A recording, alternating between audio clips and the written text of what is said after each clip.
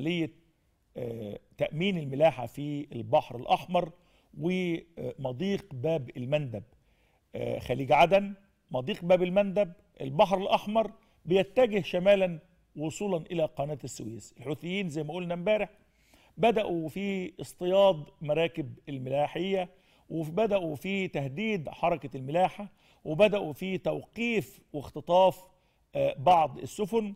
ومن نوفمبر نص نوفمبر وحتى الأمس كان في أكثر من 14 مركب تعرضت لاذى بشكل مباشر من جماعة الحوثي وجماعة الحوثي أعلنت مسؤوليتها عن هذا العمل وتفاخرت ونشرت فيديوهات وإحنا نشرناها على إنه هذا بيمثل دعما للقضية الفلسطينية وبيمثل أيضا ضغطا على إسرائيل.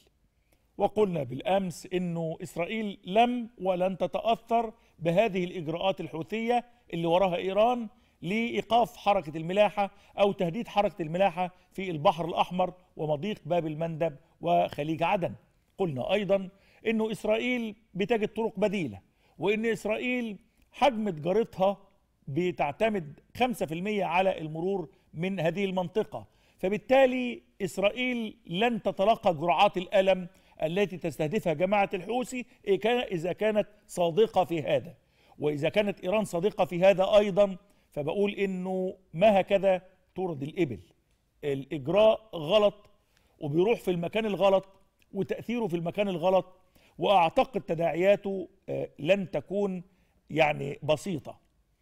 الناس بتسأل بيقولوا عندك مشكلة في البحر الأحمر وعندك مشكلة في باب المندب. وهذه المشكلة بتهدد الملاحة وتهديد الملاحة بيؤثر على قناة السويس وقناة السويس بتؤثر على واردات النقد الأجنبي للدولة المصرية واردات النقد الأجنبي للدولة المصرية بتؤثر على حياة الناس صحيح؟ كل اللي أنا قلته ده صحيح. آه هل إحنا بنختار المشاكل أو إحنا يعني بنتخيرها من سوبر ماركت؟ ابدا. هي بتفرض علينا فرضا وما اخترناها. لكن قدرنا في منطقة مشتعلة. قدرنا في منطقة شديدة الاضطراب. قدرنا إن يكون لنا دور أيضا. وقدرنا إن إحنا نكتوي بنار المشكلة ونمسك كما يمسك الجمر ونكتوي به لكن الحكمة دائما هي سيد الموقف.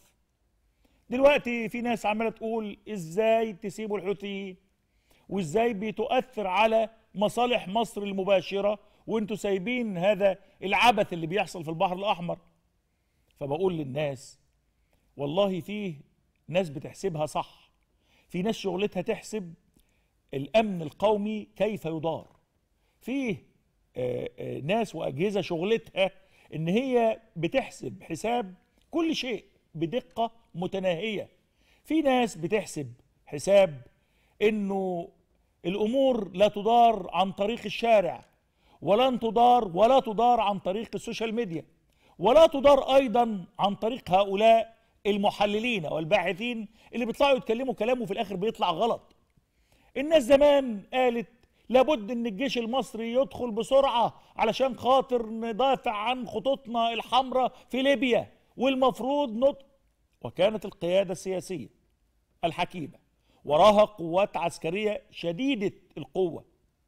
بنرسم خط أحمر عملية الردع بتتم ولم نتورط حيث كان يريد البعض أن يورطنا في حرب. كنا زماننا لغاية النهارده آه متورطين في مستنقع ليبي. بعدها قالوا سد النهضة وإثيوبيا والمفروض نضرب السد والمفروض نهاجم والمفروض والمفروض والمفروض. وكانت القيادة السياسية بمنتهى القوة والحسم بتقول لدينا مسارات دبلوماسية ومسارات سياسية صعبة ومعقده مع شريك غير واضح وشريك غير سالك سياسيا وليس لديه إرادة سياسية لكننا بنضغط وبنتحرك وهناك بارقة أمل خلينا فيها لغاية أما تنقطع نهائيا. نحاول أن نحافظ على شعرة معويه الجميع لأنه الدولة المصرية آخر خيار هو إنه يكون فيه احتكاك. آخر خيار بيفرض علينا ان يكون فيه توتر.